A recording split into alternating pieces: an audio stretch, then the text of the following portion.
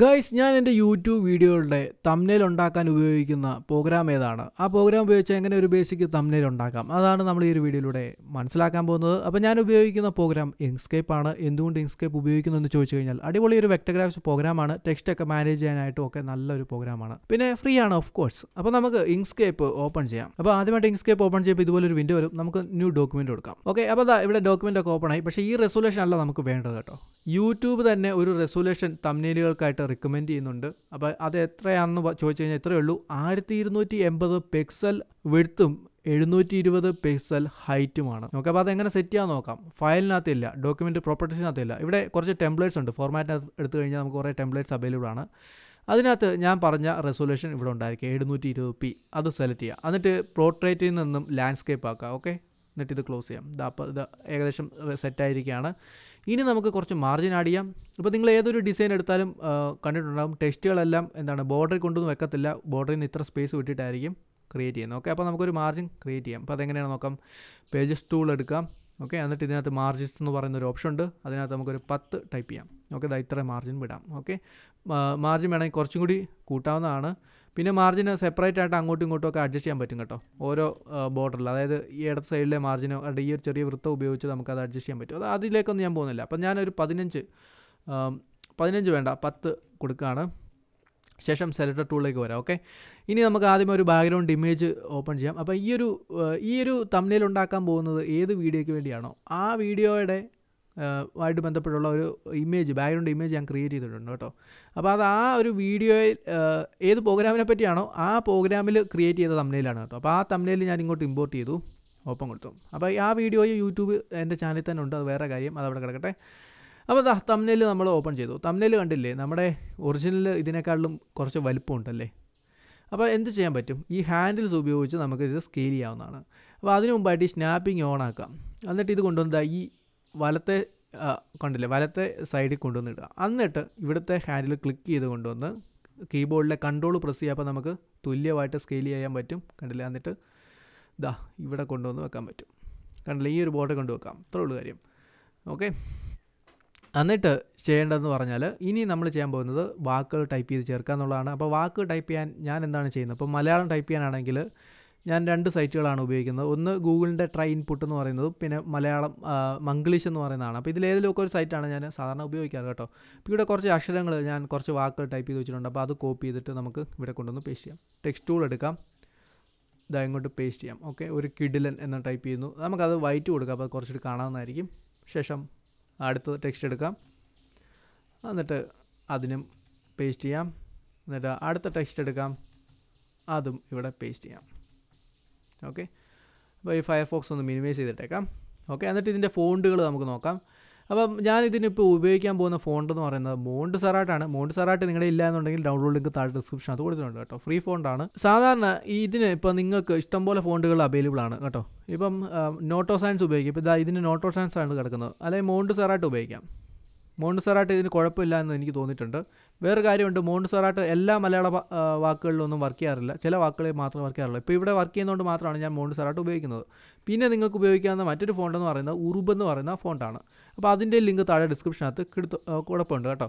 അപ്പോൾ ഇത് നിങ്ങൾ ഇഷ്ടം പോലെ യൂട്യൂബ് തമ്മിലുകളിലൊക്കെ ഈ ഉറുബ് എന്ന് പറയുന്ന ഫോണ്ട് തീർച്ചയായിട്ടും കണ്ടിട്ടുണ്ടായിരിക്കും. അപ്പോൾ ഞാൻ എന്തായാലും മോണ്ട് സെറാട്ടിലേക്ക് പോവാണ്. ഓക്കെ ശേഷം നോർമൽ മാറ്റിയിട്ട് ഹെവി എടുക്കാൻ പോകണം അപ്പോൾ നമുക്ക് നല്ല തടിച്ച അക്ഷരം കിട്ടും. എന്നിട്ട് ഈ ഗ്രിഡ് ട്രാൻസിഷനും അതേപോലെ തന്നെ നമുക്ക് മോണ്ട് സെറായിട്ട് എടുക്കാം. എന്നിട്ട് ഹെവി എടുക്കാം. ഓക്കെ എന്നിട്ട് ഈ ഒരു ചെറിയ ഹാൻഡിൽ ക്ലിക്ക് ചെയ്ത് നീക്കാം. അപ്പോൾ നമുക്ക് കുറച്ചുകൂടി കാണാം. ഓക്കെ എന്നിട്ട് ഈ എങ്ങനെയും ചെയ്യാമെന്ന് പറയുന്നത് കൂടി സെലക്ട് ചെയ്യാം. മോണ്ട് സെറാട്ട് കൊടുക്കാം. ഫോണ്ട് കൊടുക്കാം. ഹെവി എന്നിട്ട് അത് നമുക്ക് ഇങ്ങോട്ട് നീക്കാം. ഓക്കെ ആദ്യം നമുക്ക് ഈ ഗ്രിഡ് ട്രാൻസിഷൻ എന്ന് പറയുന്ന ഈ ഒരു ടെക്സ്റ്റ് അലൈൻ ചെയ്യാം. അപ്പോൾ ഇത് അലൈൻ ചെയ്യാനായിട്ട് ഒബ്ജക്റ്റ് ചെന്നിട്ട് അലൈൻ ആൻഡ് ഡിസ്ട്രിബ്യൂട്ട് എന്ന് പറയുന്ന ഓപ്ഷനിൽ ക്ലിക്ക് കൊടുക്കുക. അപ്പോൾ നമുക്ക് ഇതുപോലൊരു വിൻഡോ കാണിക്കുന്നതായിരിക്കും. ഇവിടെ റിലേറ്റീവ് ടു എന്നുള്ളത് പേജ് എടുക്കുക. കാരണം നമുക്ക് പേജിനോട് ചേർത്ത് വേണം ഇത് അലൈൻ ചെയ്യാനായിട്ട്.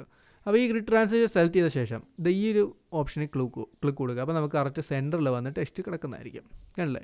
നമുക്ക് വേണമെങ്കിൽ ടെക്സ്റ്റ് വേണമെങ്കിൽ കുറച്ച് വലുതാക്കാവുന്നതാണ്. എന്നിട്ട് ഈ ഒരു ടെക്സ്റ്റ് രണ്ടും നമുക്ക് അതനുസരിച്ച് അലൈൻ ചെയ്യാം. വേണമെങ്കിൽ നിങ്ങൾക്ക് സ്നാപ്പിംഗ് ഓൺ ആക്കാം. സ്നാപ്പിംഗ് ഓൺ ആക്കിയാൽ കുറച്ചും കൂടി വ്യക്തമായിട്ട് നിങ്ങൾക്ക് ഇത് അഡ്ജസ്റ്റ് ചെയ്യാൻ പറ്റും. ഇവിടെ ഒരു കാര്യമുണ്ട്. നമുക്ക് ഈ ഒരു കിടിലൻ എന്നുള്ളതിന്റെ എല്ലാം ഫോണ്ട് സൈസ് കുറച്ചൊന്ന് കുറയ്ക്കാം. ഒത്തിരി വേണ്ട. അത് ശകലം കുറയ്ക്കാം.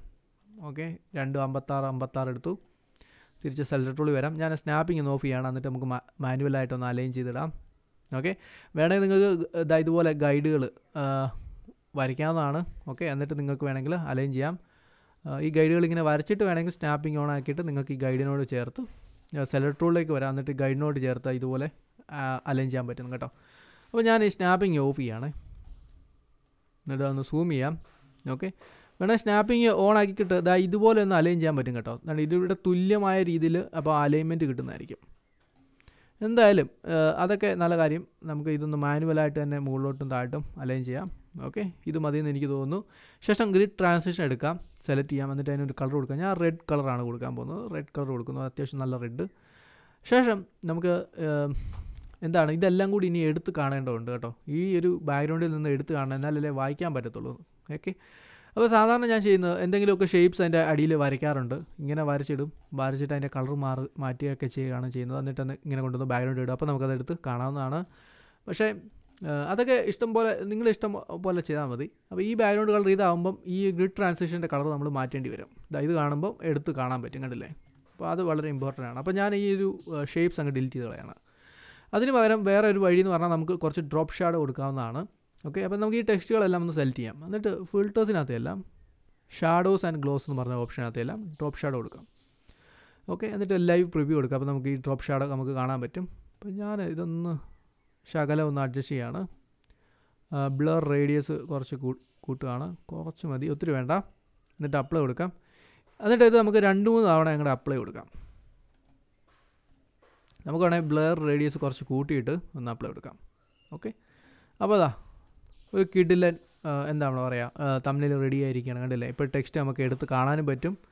ഓക്കെ അപ്പോൾ ബാക്ക്ഗ്രൗണ്ടും കുറച്ചുകൂടി കുഴപ്പമില്ലാതെ കാണാൻ പറ്റും. മറ്റേ ഷേപ്പ് ആഡ് ചെയ്യുന്നതിന്റെ കുഴപ്പമെന്ന് പറഞ്ഞാൽ ഒത്തിരി ഭാവം അങ്ങ് മറിഞ്ഞു പോകും. പക്ഷേ ഇങ്ങനെ നമുക്ക് ഈ ഡ്രോപ്പ് ഷാഡ് കൊടുക്കുന്നുണ്ടെങ്കിൽ അത്രയും മറിഞ്ഞു പോകത്തില്ല കുറച്ചുകൂടി കാണാൻ പറ്റും. ഇത് സ്ട്രോക്ക് കൊടുക്കുന്നതിനേക്കാൾ എളുപ്പമായിരിക്കും കേട്ടോ. അതേസമയം ഈ ഇപ്പോൾ ഇമേജ് അതായത് ഈ ടെക്സ്റ്റിനകത്ത് നമുക്ക് വേണമെങ്കിൽ സ്ട്രോക്ക് കൊടുക്കാം. ഇപ്പോൾ ഇവിടെ ആൻഡ് സ്ട്രോക്കിനകത്ത് വന്നാൽ സ്ട്രോക്ക് കൊടുക്കാവുന്നതാണ്. പക്ഷേ സ്ട്രോക്ക് എന്തോ ഒരു വല്ലാത്ത പോലെയാണ് ഇപ്പോൾ വരുന്നത്. കാരണം നമ്മൾ ഈ ഡ്രോപ്പ് ഷാഡൊക്കെ കൊടുത്തോണ്ടാണെന്ന് എനിക്ക് തോന്നുന്നു.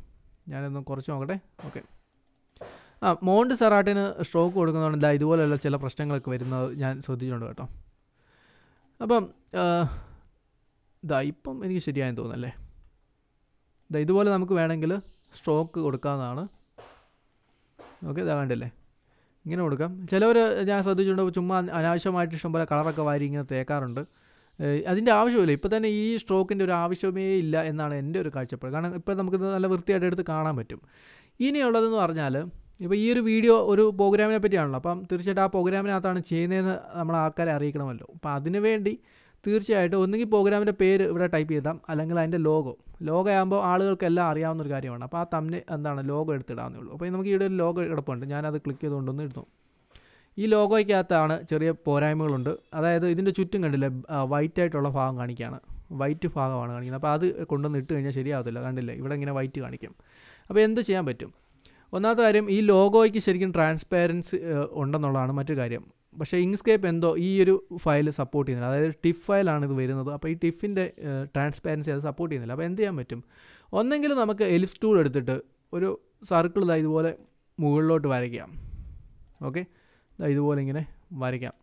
വരച്ചിട്ട് നമുക്കൊന്ന് അഡ്ജസ്റ്റ് ചെയ്യാം. എന്നിട്ട് രണ്ടും കൂടി സെലക്ട് ചെയ്തിട്ട് സെറ്റ് ക്ലിപ്പ് കൊടുക്കുക. അപ്പോൾ അതാ ഇങ്ങനെ നമുക്ക് ആ വൈറ്റം കളയാവുന്നതാണ്. അല്ലാതുള്ളൊരു വഴി എന്ന് പറഞ്ഞാൽ നമ്മൾ ഈ ഒരു ഫയൽ ഈ ടിഫ് ഫയൽ വന്നിട്ട് നമ്മളൊരു ഇമേജ് മാനിപ്പുലേഷൻ പ്രോഗ്രാമിനകത്ത് ഓപ്പൺ ചെയ്യാന്നുള്ളതാണ്. എന്നിട്ട് പി എൻ ജി ആയിട്ട് എക്സ്പോർട്ട് ചെയ്യാം. ഓക്കെ പി എൻ ജി ആയിട്ട്. P N G transparency support ചെയ്യുന്ന ഒരു ഫയലാണ്. ഓക്കെ എന്ത് ചെയ്യണം? ഇവിടെ വന്ന് കണ്ടില്ലേ? ഇവിടെ ട്രാൻസ്പാരന്റ് ആണെന്ന് അവിടെ കാണിക്കുന്നുണ്ടല്ലേ? എക്സ്പോർട്ട് ടാസ്ക് കൊടുക്കാം.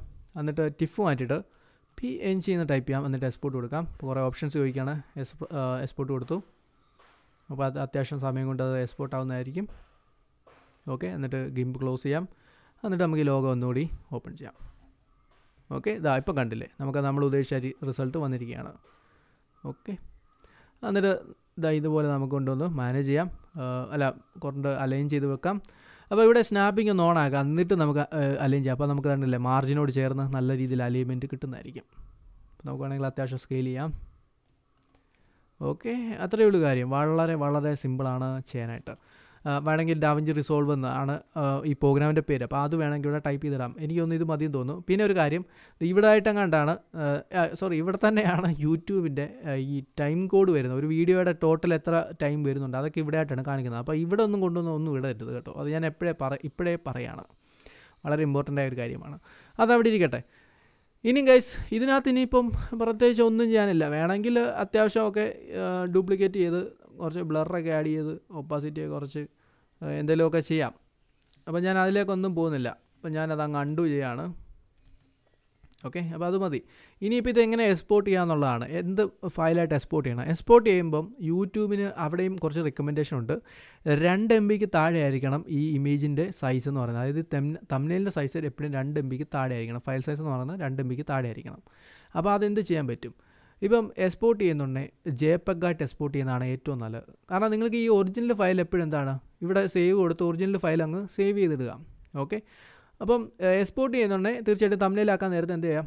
ജെ പെഗായിട്ട് എക്സ്പോർട്ട് ചെയ്യാം പിന്നെ നമുക്ക് വേണമെങ്കിൽ പി എൻ ജി ആയിട്ട് എക്സ്പോർട്ട് ചെയ്ത് ഇമ്പോർട്ട് ചെയ്യാം. പക്ഷേ ഒരു കാര്യമുണ്ട്.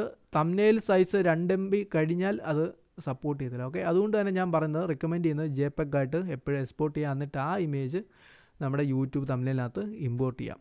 ഓക്കെ ഗൈസ് അപ്പോൾ അത്രയാണ് എനിക്ക് പറയാനുള്ളത്. അപ്പോൾ ഈ വീഡിയോ കണ്ടിട്ട് എന്താണ് നിങ്ങളുടെ അഭിപ്രായം? തീർച്ചയായും താഴെ കമന്റ് സെക്ഷനിൽ കമന്റ് ചെയ്യുക. വീഡിയോ ഇഷ്ടപ്പെട്ടാൽ ലൈക്ക് ചെയ്യുക. നിങ്ങൾ കൂട്ടുകാർക്ക് ഷെയർ ചെയ്ത് കൊടുക്കുക. ഈ ചാനൽ മറക്കാതെ സബ്സ്ക്രൈബ് ചെയ്യുക. ഗൈസ് പിന്നെ ഒരു കാര്യം കൂടി ഉണ്ട് കേട്ടോ. ഈ ടെസ്റ്റുകൾ വേണമെങ്കിൽ നമുക്കൊന്ന് ചെറുതായിട്ട് ഡിസ്റ്റോർട്ട് ചെയ്യാവുന്നതാണ്. അപ്പോൾ കാണാൻ കുറച്ച് നല്ല ഭംഗിയായിരിക്കും. അപ്പോൾ അതെങ്ങനെയാണ് നോക്കാം. ലേഴ്സ് ആൻഡ് ഒബ്ജക്ട്സ് എടുക്കുക. അല്ലെങ്കിൽ അത് ഇവിടെ ഇല്ല എന്നുണ്ടെങ്കിൽ ഒബ്ജക്റ്റിൽ ചെന്നിട്ട് ലേഴ്സ് ആൻഡ് ഒബ്ജക്ട്സ് എന്ന് പറയുന്ന ഓപ്ഷനിൽ ക്ലിക്ക് കൊടുക്കുക. അപ്പോൾ ഈ ഒരു പാനൽ വരുന്നതായിരിക്കും. ഇവിടെ നമുക്ക് ഈ ടെക്സ്റ്റുകളെല്ലാം ഇങ്ങനെ സെലക്ട് ചെയ്യാം. എന്നിട്ട് സെലക്ട് ടു എടുക്കാം എന്നിട്ട് ഈ ടെക്സ്റ്റുകളിൽ എന്ത് ചെയ്യണമെന്ന് അറിയാമോ? ഒരു ക്ലിക്ക് കൂടി കൊടുക്കുക. അപ്പോൾ നമുക്ക് ഹാൻഡിൽസ് കുറച്ച് മാറുന്നതായിരിക്കും. എന്നിട്ട് ഇത് ഈ ഒരു ഓപ്ഷൻ ഉണ്ടല്ലോ. ഇത് ക്ലിക്ക് ചെയ്തുകൊണ്ട് ഇതാ ഇങ്ങനെ മുകളിലോട്ട് നീക്കാം. ഓക്കെ ഇത് കണ്ടില്ലേ? ഇങ്ങനെ ക്ലിക്ക് ചെയ്ത് നീക്കാം. എന്നിട്ട് വേണമെങ്കിൽ നമുക്ക് കുറച്ച് മുകളിലോട്ടും കയറ്റിയിടാം. അപ്പോൾ കുറച്ച് കാണാനും കുറച്ച് ഭംഗിയായിരിക്കും. ഓക്കെ ഈ ടെസ്റ്റുകളൊക്കെ കാണാൻ നല്ല ഭംഗിയായിരിക്കും. കണ്ടല്ലേ? ഇത്രയേ ഉള്ളൂ കാര്യം. വളരെ സിമ്പിളാണ് എന്നിട്ട് എക്സ്പോർട്ട് ചെയ്ത് നോക്കുക. ഇച്ചിരി കൂടി കാണാൻ ഭംഗിയായിരിക്കും. കുറച്ച് വ്യത്യസ്തതയുണ്ടല്ലേ അപ്പം അത്രയാണ് കഴിച്ച് എനിക്ക് പറയാനുള്ളത്.